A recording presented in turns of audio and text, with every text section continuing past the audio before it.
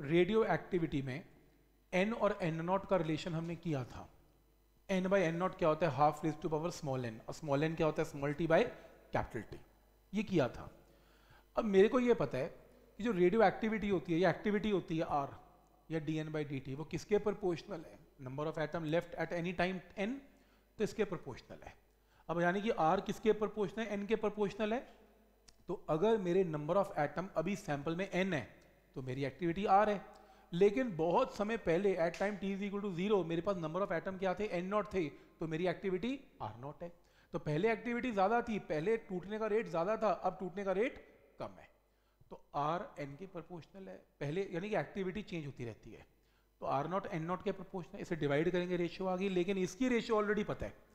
तो कभी कभी वो क्या करता है? ये रिलेशन के ऊपर बहुत क्वेश्चन पूछता है। इन स्टेट की वो आपको एन और एन नॉट दे। वो आपको आर और आर नोट दे देता है। तो ये रिलेशन काफ़ी इंपॉर्टेंट है और न्यूमेरिकल में बहुत काम भी आएगा, जो नेक्स्ट टाइम मैं आपको दिखाऊँगा अभी।